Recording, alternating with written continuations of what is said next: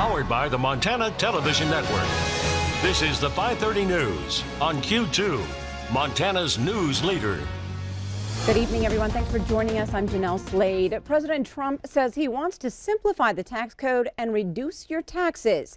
Today, the president unveils a framework he says is a once in a generation opportunity and a boon for the middle class and American workers.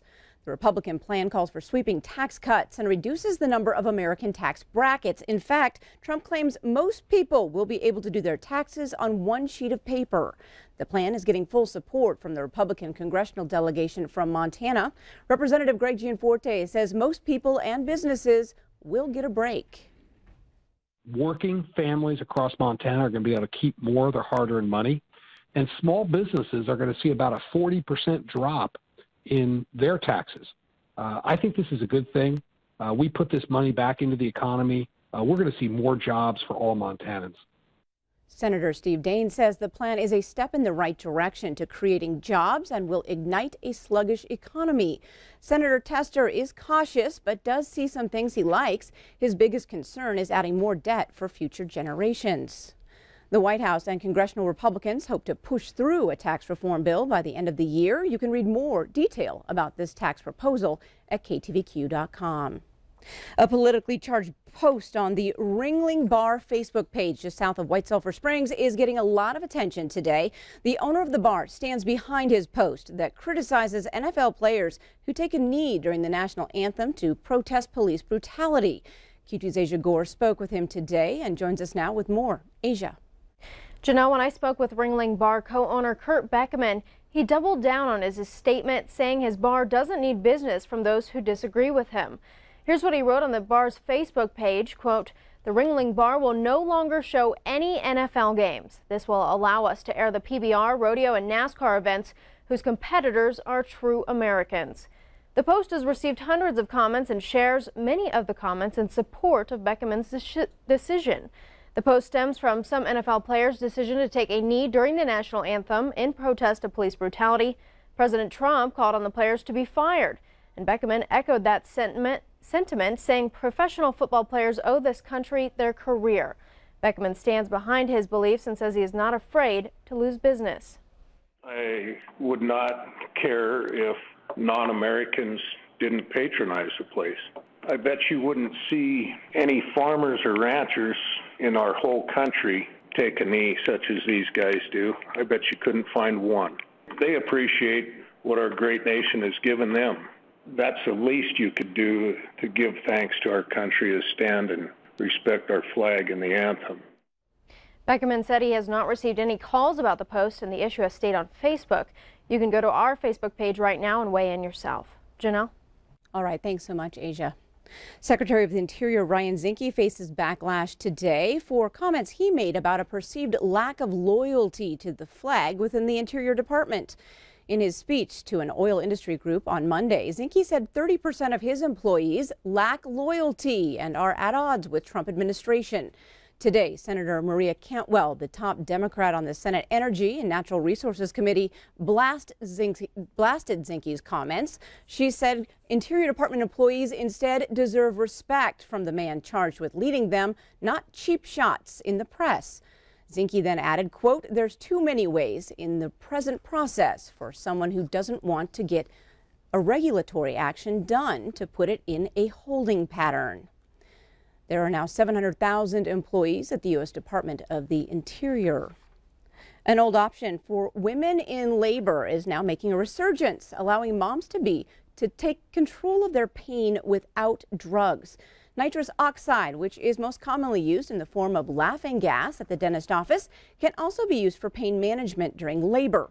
At Billings Clinic, women can self-administer nitrous oxide throughout labor to reduce pain and help them relax. The mix is 50% nitrous, 50% oxygen, making it slightly less potent than the stuff you get at the dentist.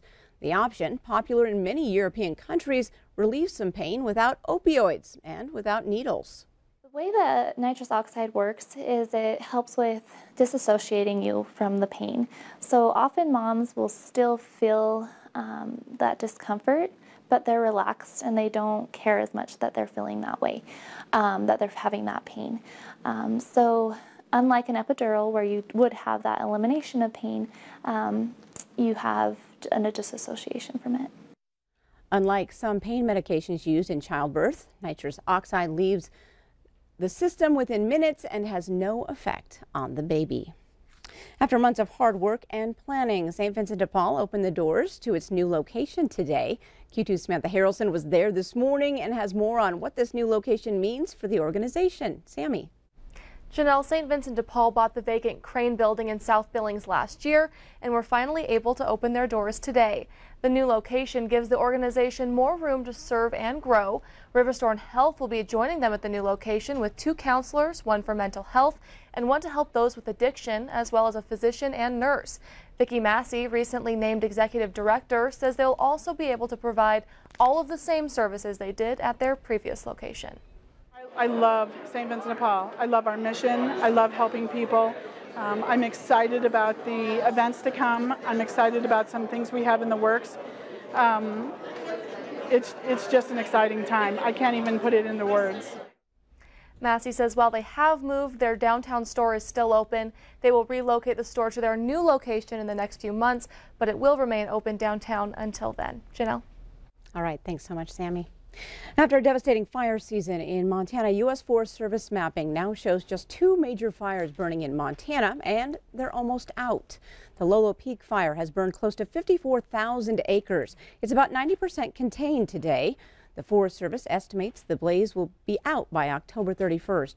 Meanwhile, the Rice Ridge fire, which burned more than 160,000 acres near Seeley Lake, is still active.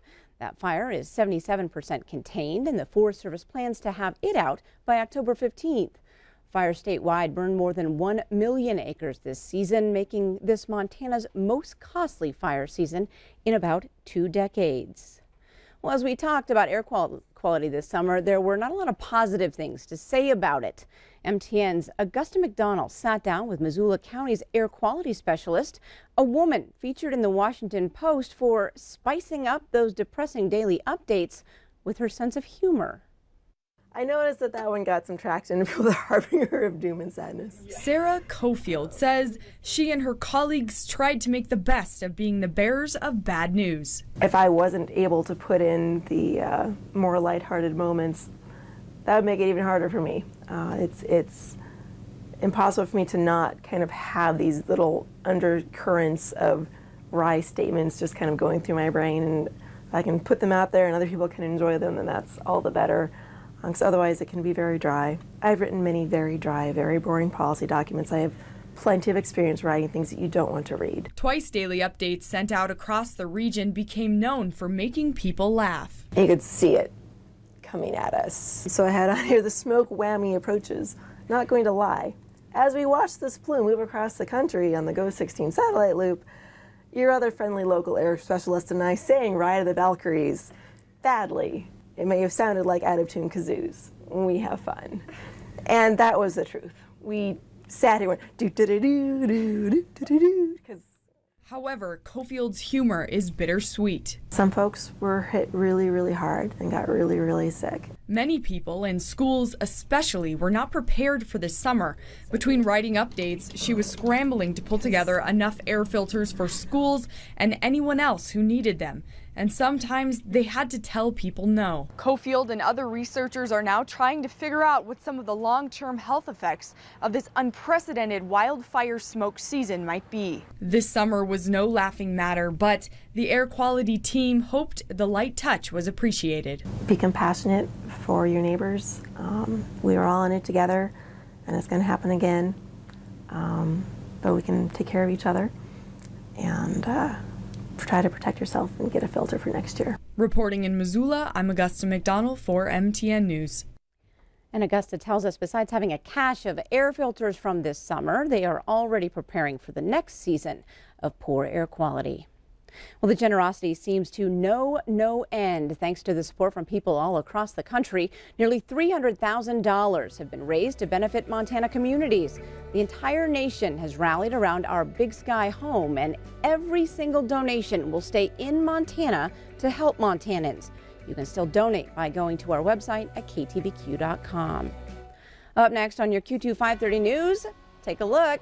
This pumpkin is tipping the scales at 500 pounds, and it's right here in Billings. We'll check it out. And in sports, Scott shows us if West High's Joey Moore goes back to back on state golf titles. And coming up in weather, clearing skies again today. Now tonight, we're expecting to see mostly clear skies as well and mild temperatures, but we are starting to see some more rain move into our forecast beginning Saturday night. We'll tell you all about that coming up in a few more minutes. You're watching MTN News with Jay Cohn and Jeanelle Slade. Storm Tracker weather with Bob McGuire and sports with Scott Green.